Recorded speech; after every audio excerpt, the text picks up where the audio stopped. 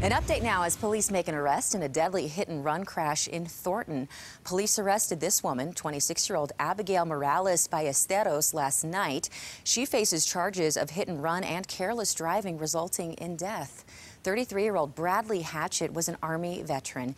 He was hit at 115th Avenue and Colorado on February 22nd, and his family took him off life support after donating his organs.